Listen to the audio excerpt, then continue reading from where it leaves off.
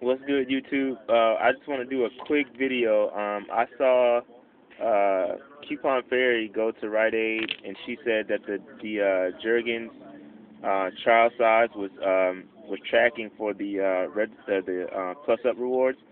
So I went and did it. I, I just bought some Skittles that were t- uh, two for a dollar, um, and I had the 50 cent off video value, so those were free.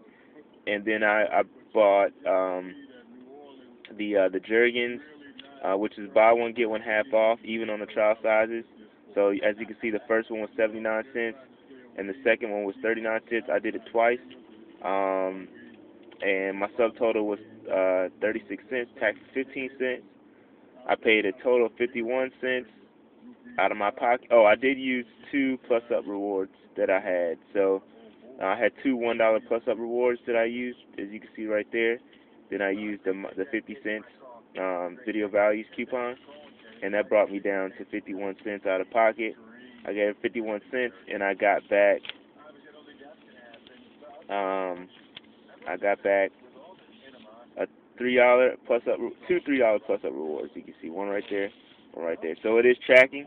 Uh, go do it. I'm about to go see if I can get another card and uh, do it again. So I will see you guys in the next video. Thanks.